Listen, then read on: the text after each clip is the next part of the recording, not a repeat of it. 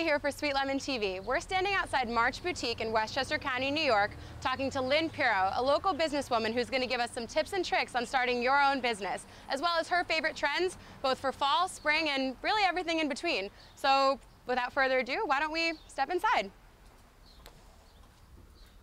And tell me a little bit about how the transition has been, you know, starting your own business to kind of where you are now. It has so evolved from how it started because I was just planning on opening up a little tiny shop where maybe just the local woman, women would shop, uh, ones who maybe didn't have a chance to go into the city to go uh, do, because they're busy with their own families.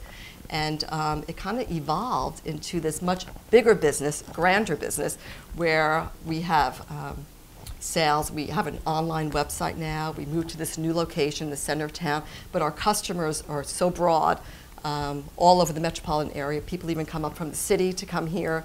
Uh, we've been recognized by different publications, and um, so it's it's been a uh, a dream come true for me, and much grander than I ever had anticipated. What makes this store different from other stores, I would say, is that we've I have a collection of over 60 different designers, and that's really very, very unusual, and um, hence my long hours, because I'm juggling lots of things at one time.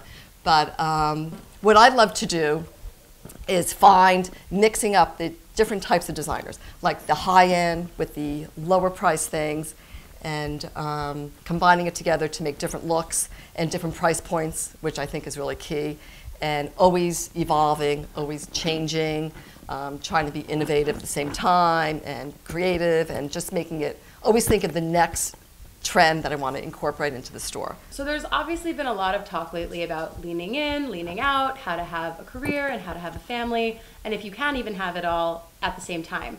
But it kind of seems like you're doing that. I mean, you have a wonderful family, you have a fantastic store, and your career is really your passion and also your business. Right. So, what is your advice on doing just that, on having it all. I think you really have to have balance. I think that's number one. And um, as I said, my family, I started this business and my children were pretty independent, so I could devote the time to it. And if it's your own business, you have to devote the time. There's no doubt about it. You have to put those long hours in. It's 24 7. That's it. So, um, but then there's, you know, the balance of it all. You know, I mean, I I have an active social life. I, of course, do things with my children. And so I think if you're, you're, you know that up front, uh, I think you can have it all, but in a different way.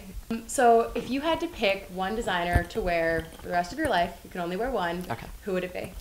Well, it's funny. It changes from day to day. Today, I would say um, Trina Turk. I'm loving her new collection, mm-hmm. and uh, we have quite a few Trina Turk pieces in the store right now and um, I think they're beautifully made.